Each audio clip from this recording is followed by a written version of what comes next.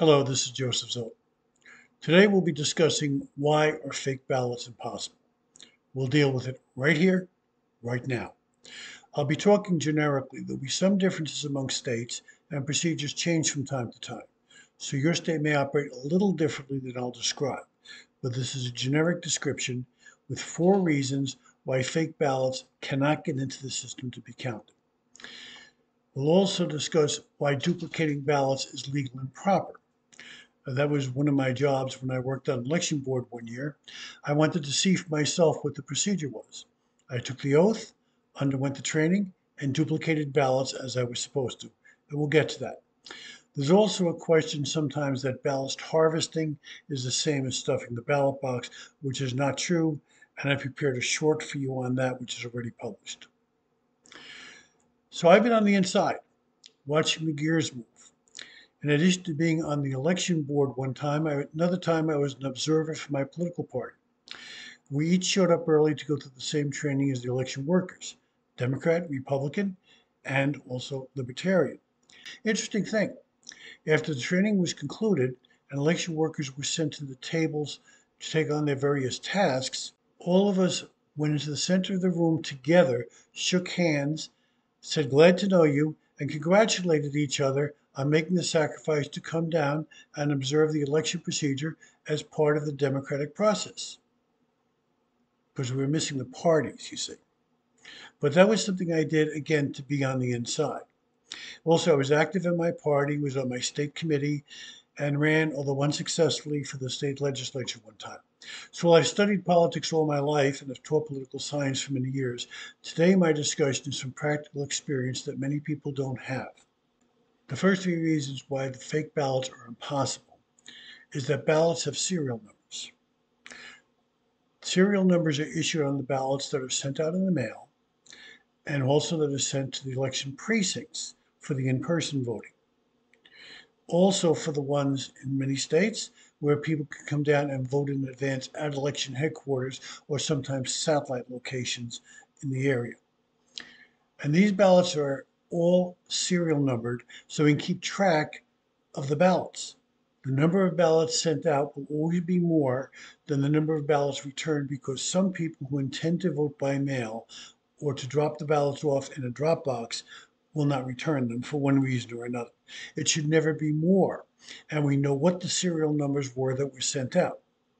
So, what are the three possibilities if somebody did try to produce a fake, a phony ballot? One is they put no serial number on it, in which case the computer will reject it even if human eyes don't detect it before that. It can't be a valid ballot. Another is they may make up a phony serial number, which therefore will not match serial numbers of any ballots that were sent out. And the third possibility is they happen to duplicate real serial numbers, and that would cause major commotion, confusion, chaos. The computer would be saying, I already counted this ballot, it came through with the same serial number. And then we won't know which ballot was correct, which was valid, which was not, and we are going to have chaos. But that has never happened. So, those are the three possibilities of how you can prepare a ballot that you think is going to get through the system and it won't. The election departments have ballots on reserve also with serial numbers in case a particular precinct runs short of ballots. Sometimes people make a mistake on a ballot and they ask for another ballot. The serial number on the spoiled ballot is marked void and a new ballot is used. Sometimes a precinct can run short. So, always good to have a backup plan, always good to have ballots in reserve. The fourth reason is how the ballots get into the system. Ballots that are sent out by mail for mail voting or absentee voting come back in envelopes, either by mail or placed into drop boxes. Ballots used on site come in the ballot box in the voting location. Election workers at the voting location have an empty box in the morning and a padlock. They open the box first thing in the morning and turn it so all voters already present, and any political party observers present can see for themselves it's empty. Then it is padlocked. After the polls close, a combined team takes the ballot to election headquarters.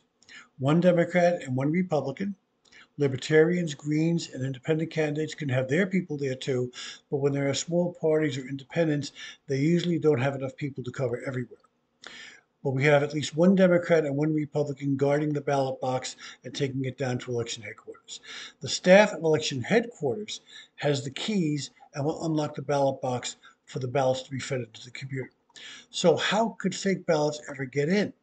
They cannot. Someone shows up with a cardboard box filled with ballots this is not going to be accepted. They either come in an envelope or they come in a padlock ballot box. There is no other way to get into the system. And I said I duplicated ballots. Yes, and there's been video of election workers doing so from security cameras, and they were accused of changing the votes. So before explaining that, let me give a brief commercial. As you see behind me, I have some books for sale, and to find out more about them or to make a purchase, to consider making a purchase, there is a link below in the description. Also, there is a link for some free material I have for you. And if you want, you can buy me a coffee. End of commercial. Sometimes ballots arrive crumpled and will not feed into the computer. What we would do, one Democrat and one Republican, was to take the damaged ballot as turned over to us and take a blank ballot that was a different color to note that it was a duplicate ballot. We would take the serial number of each ballot and write it on the other so it could always be cross referenced if necessary. Of course, by this time, there is no way to identify who the voter is, so the voter's identity is not compromised. Then, working together, we copy the first ballot exactly to the duplicate. The duplicate goes up to the computer room, and the damaged ballot goes into the file, just in case it needs to be referenced later on. So that is to keep a ballot that was somehow damaged from not being counted. We have a way to create a physically valid ballot as far as the computer is concerned and get that vote counted and we have people from different parties watching each other. Then there are overvotes. Here we do not duplicate the ballot exactly. What happens is the computer rejects a ballot that, for example, has two votes for president. The person voted for two of the candidates, they can only vote for one as a valid vote. You get one vote for president, so the computer will not accept that. It will come to our desk and we copy the ballot over to a duplicate as I've described, except we would not be able to copy over any vote for president. Because the voter is anonymous, we cannot call the voter and ask which candidate they really like just a little bit more than the other, even though they seem to like both. We have to disallow that vote. For president, not the entire ballot. We make sure a valid ballot from the computer's point of view is placed into the system with every vote that is a legitimate vote.